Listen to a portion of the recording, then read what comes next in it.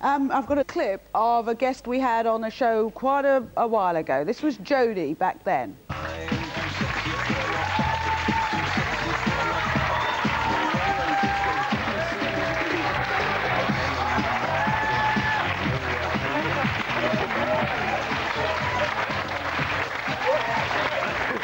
How many of you out there can do that? I'm making the most of it, and that's what counts. What do you mean making the most of it? Just basically, my priority at the moment isn't to lose weight.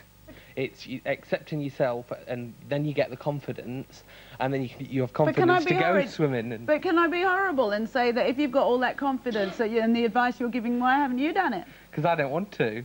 So that was Jody. He had all the confidence. He was fat. He was happy. He didn't want to change the shape he is. Jody joins us now. You can hardly recognise him. Please stand up, Jody.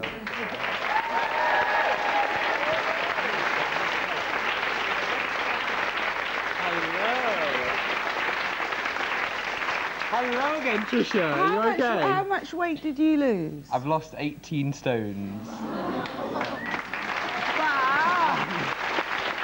And the first thing I've got to say, the first thing I've got to say, you could lose those thighs so easily, so easily. But you said you were happy and you didn't want to change. I know, but I know the secret now. I know the secret how to get rid of those thighs. Yeah, but if you were so happy, why aren't you still Jody? I'm happy and No, I am still. I am still happy. I'm still the same person, but I'm just 18 how did, stones how lighter. did you lose the weight? Exercise has been the key to mine, mm. and a lot of low-fat, healthy eating, but sensible eating, still treats and everything, mm. but exercise definitely. But, but well done. Thank you very much. amazing.